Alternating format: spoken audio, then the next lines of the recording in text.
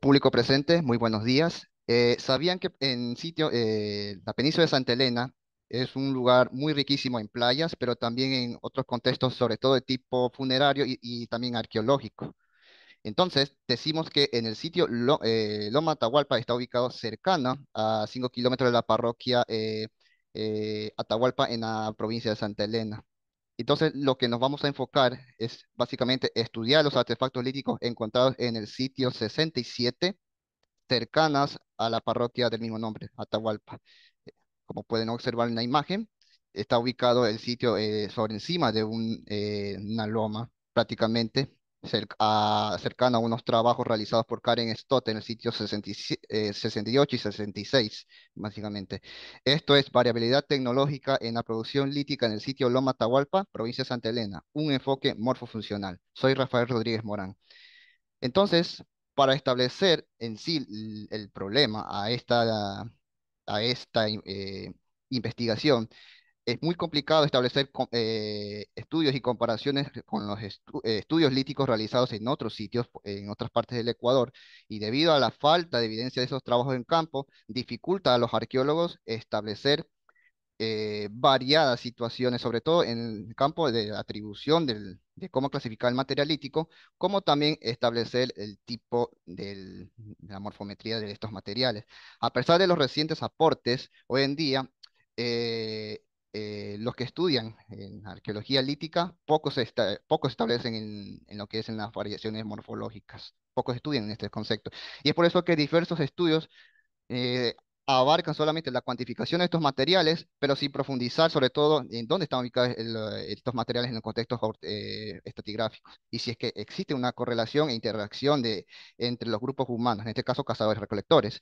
Por tanto, este estudio conlleva a una gran responsabilidad de cómo clasificar y cómo eh, eh, ver la adquisición y la producción de este material primo, de esta materia prima. Entonces, una de las propuestas que se ha llegado para este análisis, análisis crítico en analítica, es establecer un inventario sobre estos materiales. Luego con, eh, empleamos este, eh, algunas fichas eh, de tipo arqueológica, en este caso la lítica, colocando todos los atributos posibles con el fin de, de establecer y detallar las, eh, las indicaciones. Luego empleamos el método de Carlos Hachero y eh, José María Merino sobre establecer el esquema lítico, en este caso morfofuncional, Luego empleamos el enfoque de tipo tecnológico para verificar, clasificar y ver los estados materiales y para luego guardar esta información en la base de datos, sea en EPCS, en R o en Excel, para establecer eh, los tipos de comparaciones y muestreos. Y nos dan como resultado que, por ejemplo, casi el 70% de los materiales conlleva, por ejemplo, el SERT, el orsteno y la cuarcita encontradas en el mismo sitio. Hay que también convenir que en algunos artefactos líticos, tipo de tipo funcional, se encontraron este limonita, lo cual sugiere que hubo muchísimo cambio eh, a la hora de ver, eh, de ver estos materiales, es decir, su correlación es producto de, de cambios exógenos de la naturaleza. Y además podemos ver que la mayoría de estos, eh, de estos materiales líticos eh, fueron de- eh, son de tipo burdo y también existe una gran cantidad, sobre todo de guijarros de manera alisada, núcleos, también este, algunos tipos de raspadores que tienen eh, buenos este, filos.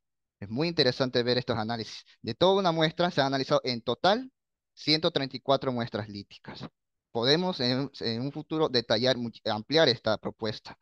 Entonces ya a modo de conclusión decimos que eh, la adaptación de, los- de estos grupos humanos está conllevada a la, a la producción y generación de estos materiales líticos con el fin de establecer eh, la subsist- subsistencia y también viendo los tipos de procesamiento, sean retoques, incisos o incluso eh, cortaduras o filos. Y además que la sociedad de tipo Vegas en Loma Atahualpa aprovecharon estos materiales líticos que se encontraron a un costado, de- en este caso del río Tambo.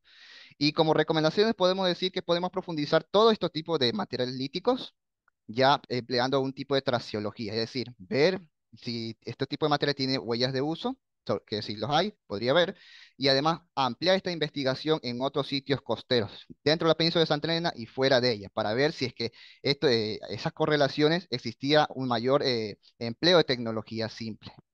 Ante todo, muchísimas gracias, querido público. Y un pueblo sin el conocimiento de su historia eh, pasada, origen y cultura es como un árbol sin raíces.